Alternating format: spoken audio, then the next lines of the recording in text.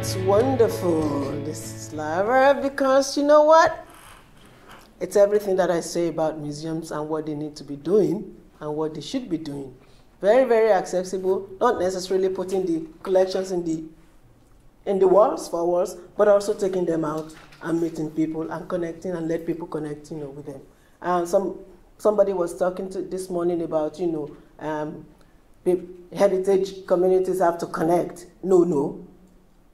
We're saying, and museums are saying, we're connecting, and we want to connect and reach out, you know, to people. So that is wonderful, you know, to hear that and to see that. And you know what? Open Museum is also one of my favorites too. Oh, did I say that?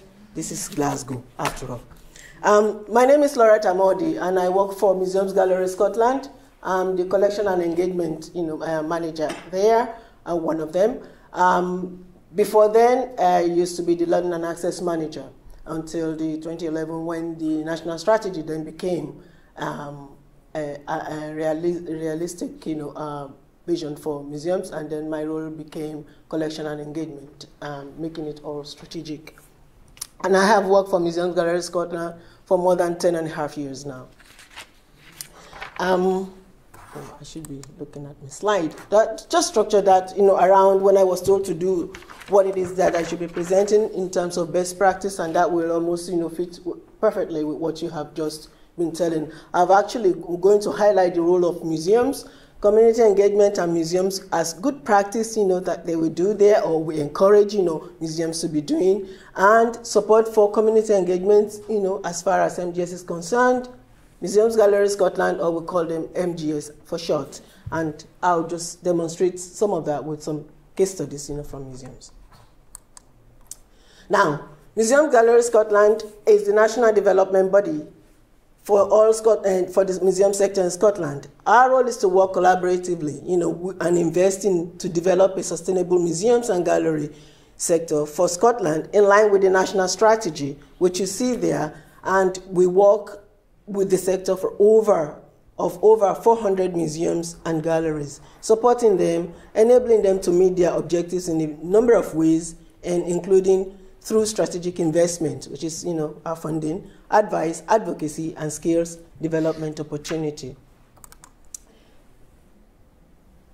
Catherine, in her presentation this morning, that talk mentioned about definition. We spend so much time talking about what is what do we mean by museum. I think the jury is still out, you know, first in some cases, um, because MG, Museum Development Scotland and the sector here in Scotland have taken um, the ICOM definition of museum, which is regard museum as a non-profit permanent institution in the service of society and its development, open to the public, which acquires, conserves, research, communicates, and exhibits intangible and intangible, which means it's not just about the fixed and also the stories and all of that intangible cultural heritage.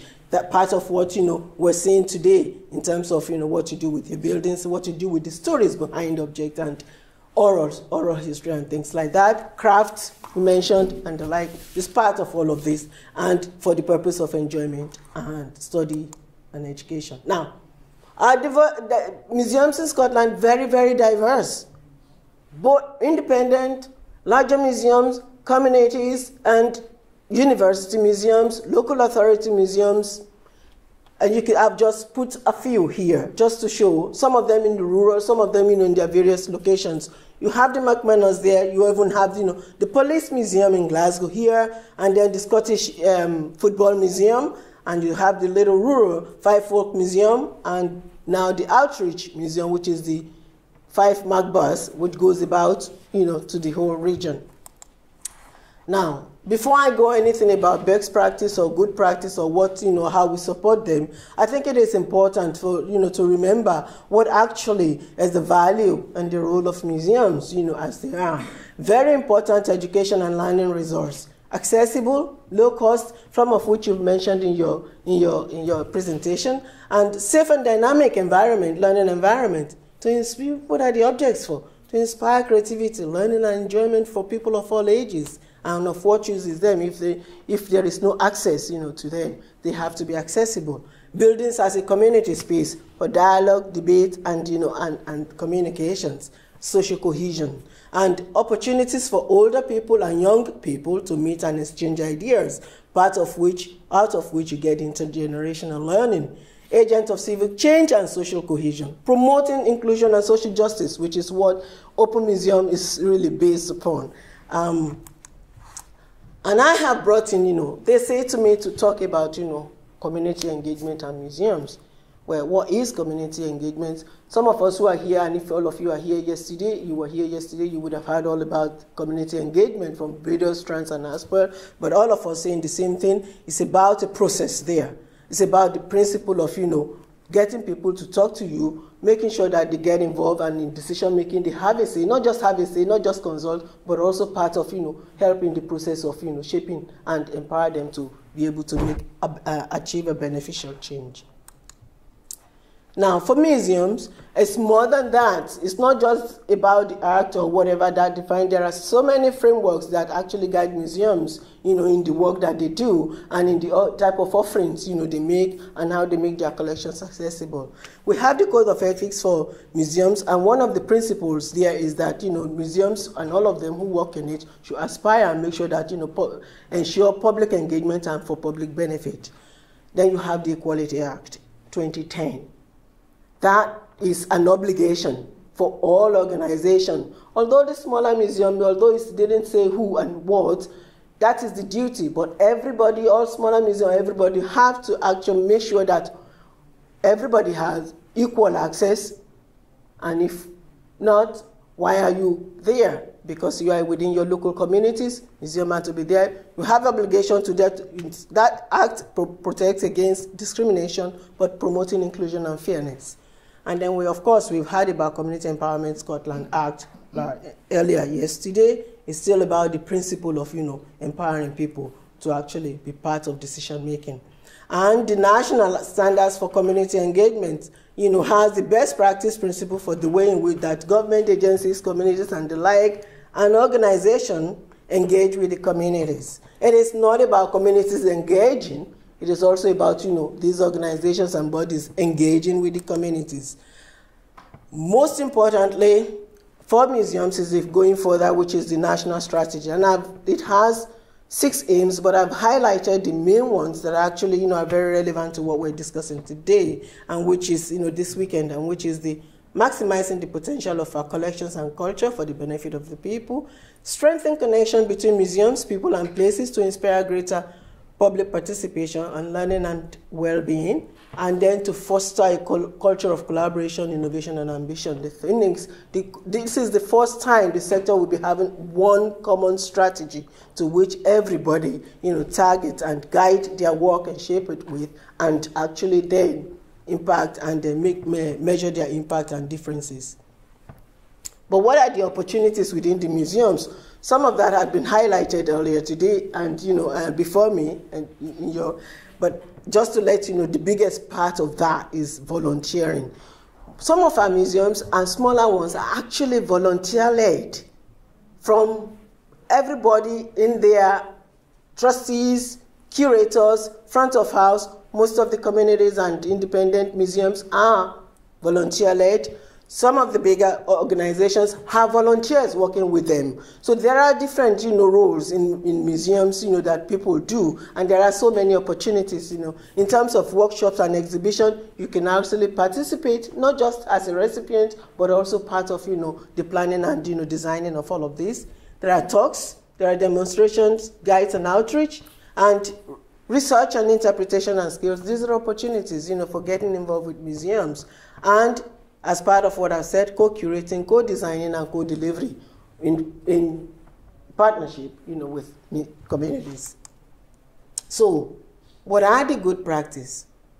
Some of which have been touched already, and I believe that, you know, though museums do this, but there is still a long way to go in terms of, you know, that holistic and integrated approach. But that is what they strive to do. That is what MGA is supposed to be supporting them to be doing, and that's what we're hoping we're doing. The participatory integrated approach, you know, it means that community is at the heart of what we do and what we offer. That is the museums, and providing a welcoming, safe environment and platform for effective engagement. Communication with museums or museum staff for what we do should have to be a two-way. It doesn't start as we consult you or we inform you or we want you to tell us. It's about, you know, it has to be on, ongoing. And that's, that's the way we build relationship. And that's the way we build collaborative working. And that means seeing communities as equal partners, bringing their own local knowledge and expertise into it, and museums bringing their own. Respect is there, and also the fact that by doing that, everybody is allowed to actually participate at different levels, not certain level, and then you cannot do it, or you tell us and we go and do it. No, we want to see that, and museums are encouraging that more and more in terms of collaborative, you know, working.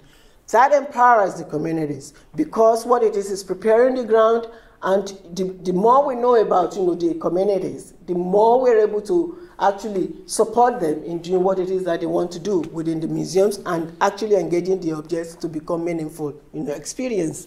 And then that's part of the code delivery as well.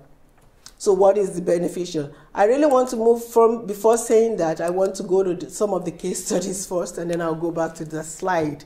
Um, some of the case studies that I've highlighted here have demonstrated how some museums have actually been encouraging you know, people to help them to shape their services and offering activities.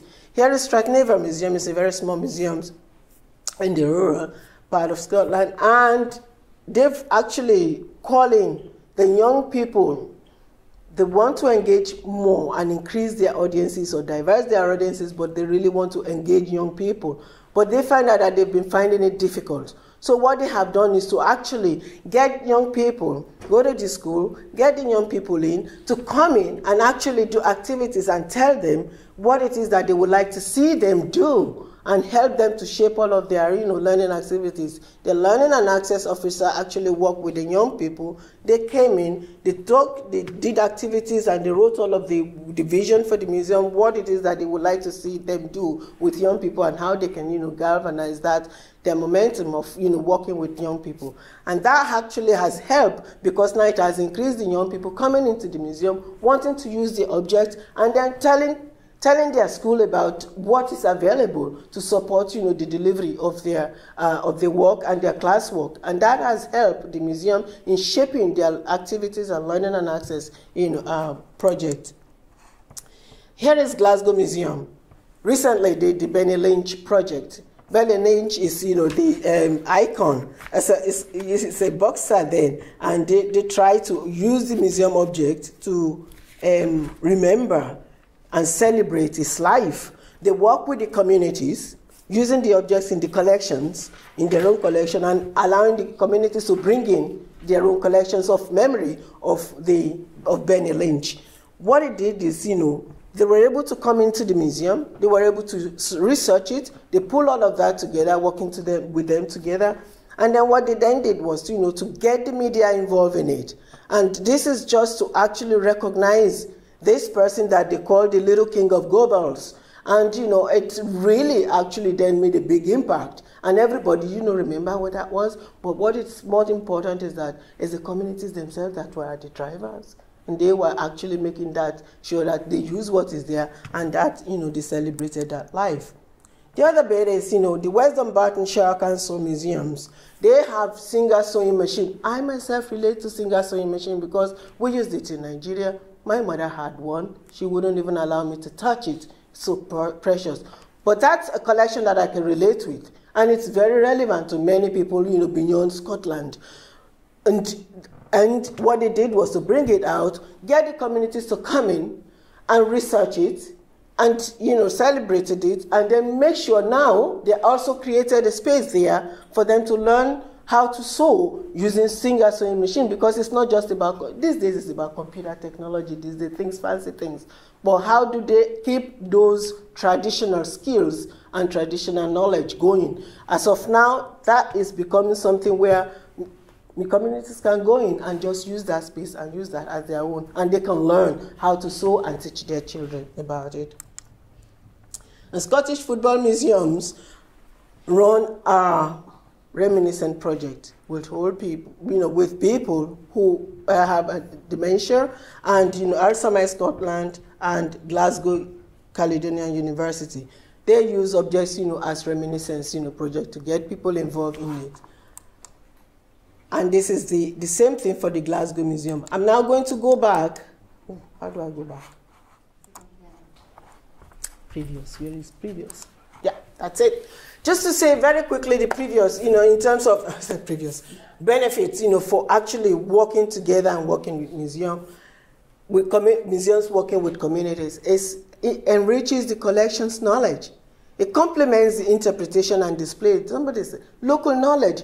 Communities too have the experts and things about objects. They've been there. It's theirs. They know them more. But the more they come in, in there and help, you know, to shape it and, and look at the description, we get better, rich interpretation, you know, for and for display. It also helps on the side of communities to build those skills help them, you know, in whatever maybe research skills and, you know, some documentation skills and the like. That's part of what the, the communities gain. Eh, but it's also instilling ownership and sense of pride in their own local heritage and foster collaboration and sustainability. Now, what is our own commitment, MGS commitment to supporting museums and, you know, uh, community engagement? We have the funding Catherine mentioned accreditation. Although our funding is meant for accreditation, but we also have a small pot of money to help organizations, you know, smaller and independent museums who are aspiring to be accredited, to be accredited, you know, to help them, you know, get that process. So that money is there. Money is. We don't give money to communities, but we will give money to museums working collaboratively with communities in whatever project you know that they are doing. And we strongly encourage that. We provide advice and guide for practitioners on how to do all of these things and the resources on website um, our training and courses including volunteer development for communities for museums to work with communities and they are very accessible so as to continue to train them. We've run accredited training in-house and you know work-based learning Heritage Horizon up to accredited, you know, SVQ levels, and people have gone on to move to get work. So we're also creating work and employment, you know, opportunities for people.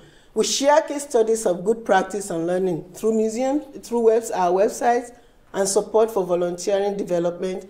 And we also now have new museum toolkit, which helps organizations who are trying to make a decision of whether you want to set up a museum or a heritage organization we have a toolkit and framework that helps you to get there, which includes all of the you know frameworks and resources and how you get there, helps you to shape whether that's where you want to be or whether you want to be a museum or you want to be an, a, a different you know resource center.